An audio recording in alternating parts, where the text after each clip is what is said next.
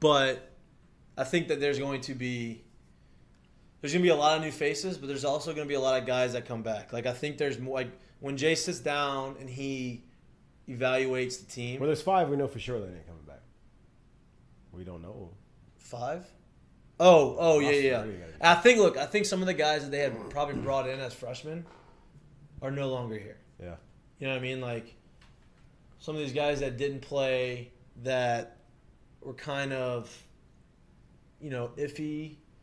I think that he's probably already told them like, hey, you may need to transfer, whatever, right? But you go look out the bullpen. Like Gervase will be back unless he gets drafted high enough, which I don't, you know, I don't know. You're gonna have same thing with Reyzelman's in that same category. I'm gonna go straight just pitching right now. You have those two. You have Cooper will come back. You have Collins is coming back. You have Dutton coming back. You have Grant Taylor coming back, who was like touching 97, 98. Yeah. You have maybe Ty Floyd unless he goes in the draft. Like those guys are all coming back. Those are all talented guys, Yeah. right? So now I'll assume Blake Money is coming back, but I, like there's gonna be out of those you can't have them all back and still go get the talent you have. Right, so, right. So those those are the tough conver Like he's gonna have some tough conversations with some of those guys. Like who does he believe? And listen, don't be surprised if some of these guys don't come back and end up going to a, a really good school and coming back and playing well against us. Like these guys are all talented, and if they figure it out, they figure it out. But sometimes you may just need a, a new place to figure it out. You know, a new scene, some new scenery may help. Um, Or So- just yeah, there's a we got to see you pitch. There's another guy that you know that you Yeah. like. Look, I'll help you be able to land on your feet somewhere else for bringing this guy in. Because people are going to want, and this isn't. This is just coming from an outside opinion. People are going to want to see different names on the uniform after, certainly in the starting rotation, but even in the bullpen. I feel like there's going to be a bigger change, or at least people are going to want to bark for a bigger change than just like bringing back everyone. yeah, You know, like I understand they're talented, whatever, but I think that it's going to be like I don't know if this this group works together well. Like they all work are good individually. I think well, I think you're 100 percent right, but I think even more so than that. Like, let's be honest. If you call a spade a spade, like when you bring in a new coach, they want that ship to have their name written all over it. right. So whatever, whether it's for the better or whether it's for the worse, he's gonna want his guys, quote so to say, in there. So there you go. And here's here's the other thing. Like that's obviously on the staff, right? And that's because, um, what up, guys? Um, that's because they, you know, the pitching staff was so depleted and talked about, and that was a big issue. Now, um, offensively, I think they're going to be in really good shape next year. Obviously, you have Crews, best player. Crews is probably going to win the Golden Spikes next year. Like, I'd put. I thought if Crews would have would have kept playing throughout this postseason, if have made it to Omaha, I think he'd hit 25 plus homers this year. Right. He hit 22. Let me listen. I told this. I said this uh, today. Actually, I was like, I feel like I had a pretty good career at LSU. Washed up. Washed washed up. I hit 35 home runs in three years. Dylan Crews has hit 40 and two. so, you tell me if that's pretty good. I mean, that's I mean that that's, and we we can talk all day about how special he is, but like, he's coming back. He is going to be probably number one overall pick, college final uh, finalist for the Golden Spikes. Like, I wouldn't be surprised if he tried to put up some crazy numbers like this dude is doing at Texas. Like, stupid. He's back.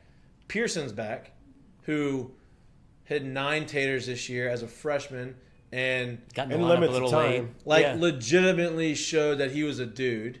He led off in like some of the like he was on top of the lineup from the last three series on, like throughout the postseason. He's back. Tre' Morgan's back. He got hot towards the he got hot again towards the end of the year. So like, I think he's figured he figured out some of the adjustments. I think there's other adjustments he's going to make offensively, hopefully hit for a little bit more juice. You have um, Stevenson, who played. I know he struggled a little bit defensively, but for the most part this year he was good time. defensively. Yeah, And don't worry about that. I think he showed flashes at the plate of having really good at bats. And to me, if you have that and you're able to put up together those at bats, the the, the hits and the homers and all that stuff's going to come because if you're seeing it that well and you're able to compete like that, it's gonna it's gonna end up translating. You're bringing in a ton of talent. to come in. I think they're probably going to try to get Dugas back, and I think they're going to try to put him at third base. So that's another guy who can swing it and can hit and has experience. So I think offensively, you are going to be in a really good spot. You have Thompson coming back. I know people were really upset about Thompson having a tough year. Over the last month of the season, he played really well. Mm-hmm. He didn't play. He didn't play. He was a lot better defensively, and he he started swinging it a lot better. He had some big hits. His averages his average creeped up to almost 300. He had some homers, um, but more importantly, he played really good defense as opposed to compared to what he did at the beginning of the season. So you have a third year guy, a third year starter coming back in him, and offensively they're going to be in really good shape, and they got a good recruiting class coming in. I just I think when you look at the lay of like college sports, especially, definitely in baseball too. If you look at it, like, I think I wouldn't say easy, but I think it's easier to see young kids somewhat star. If you look around, and you can find young young players doing really well. But I think when you find good teams in college sports, they end up being older teams. Yeah, They end up being teams who have players who have experience, who have done it, and then it's going to be mixed with. I mean, look at our young- team. It's going to be mixed with the Yeah. younger guys that come in. You know, so I think we're sitting here and we're talking about those guys. Those are the guys I don't think need to be moved. yeah. Like, I could see some fans saying, "Oh man, you know Thompson struggled in the middle of the year." No, I want him back and playing next year. Me too. That, that Shortstop. whatever he went through, yeah, whatever he went Unless through you this have year- somebody that comes in next year, it's a freshman that is like No, no, somebody's gonna have to come and take it, take the and job. put him the second. No, Put my to point is, it's yeah. it's still his job. Somebody's Yeah. gonna have to come and take the, and I No want doubt. him to have that job simply because like the stuff that the freshman year he had, and then he goes through the up and down a little bit of this year, like that's all gonna make him a better player. Yeah. And if you bring in some talent in here that's gonna push him and challenge him and Right. push him, it's only gonna make him and them better. no doubt. I, I think it's his job to lose. And everything that I've talked, everything, everything I've heard from him about him is he's a really good dude. Like Yeah. he like works hard. He's not doesn't. He just he goes about his business, and he showed me a lot about himself as a as a Yeah. person this year of how he handled yeah. the struggles, dude. Because like, hey, when you're when you're on that island by yourself, making errors, struggling, knowing that you're struggling, knowing that you're better and than the that, ball keeps finding you. and it gets loud, dude. Yeah. The fans get loud. Twitter gets loud. Like especially down here when it when shit matters. Like college baseball and at I'm not- Michigan doesn't really matter. I'll just I'll just say this, dude. I'm not at all, and I don't really, and this doesn't really. I think this has kind of been the, the the thing we've known all year. I'm not at all worried about the lineup. I'm really not that worried about the pen next year. I do think that what we knew from the start of the season became really glaring at the end Yeah. of the season, and it's like if you can address and find some surefire guys to start games for you, this team could be serious no doubt. Very serious Mm-hmm. and real quick. So I think that's a you know they can if they can address that the way they need to. I, I think you're looking at a very good team next year.